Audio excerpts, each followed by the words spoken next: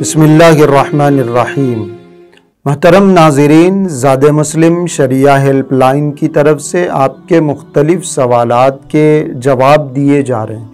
आपका भी अपना कोई दीनी या शरय मसला हो तो हमारी स्क्रीन पर नज़र आने वाले इस नंबर पर वॉइस या टेक्स्ट मैसेज करें। इन जवाब देने की कोशिश की जाएगी। आज का सवाल बड़ा अहम है। एक साहब ने सवाल किया गया तंबाकू और सिगरेट की खरीदो फरोख्त करना कैसा है? आजकल मुसलमान बहुत सारे ये कारोबार करते हैं, पान शॉप्स में, किराना स्टोर्स में, जनरल स्टोर्स में। हर जगह ये बिज़नेस किया जाता है, ये कारोबार किया जाता है। टोबाको सिगरेट, गुटखा बेचा और ख़रीदा जाता है। तो ये बेचना और ख़रीदना दुरुस्त है या नहीं? याद रखिए, इस सिलसिले में बाज़ ने इस कारोबार को, इस बिज़नेस को जायज़ कहा गए हलाल कहा गए उन्होंने ये बात बताई है कि सिगरेट का कारोबार है, गुटके का कारोबार है और तंबाकू का कारोबार है। ये सिर्फ़ मकरू है तंजीही है।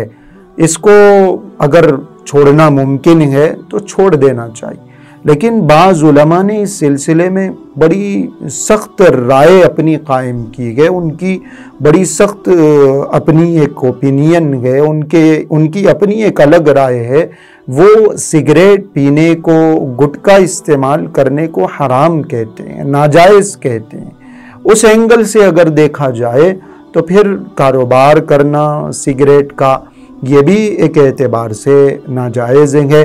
चूँकि सिगरेट की वजह से गुटके की वजह से इंसान की सेहत का नुकसान होता गए जान का नुकसान होता गए इंसान के माल का ज़िया होता गए उसका माल ज़ाय हो रहा गए ऐसे ही सिगरेट पीने की वजह से गुटखा खाने की वजह से दूसरों को तकलीफ़ हो रही है तो एक ईमान वाले को ये जेब नहीं देता है एक एक, एक ईमान वाले की ये शान नहीं है। कि वो ऐसी चीज़ें फ़रोख्त करे, ऐसी चीज़ें सेल करे, ऐसी चीज़ें बेचे जो दूसरों के लिए जानलेवा साबित हो रही हैं, जिससे दूसरों की जान जा रही हो, दूसरों की सेहत का नुकसान हो रहा हो, आदमी को कैंसर हो सकता हो, आदमी की मौत हो सकती हो, ऐसी चीज़ों से एक ईमान वाले को बचना चाहिए, एहतियात करना चाहिए।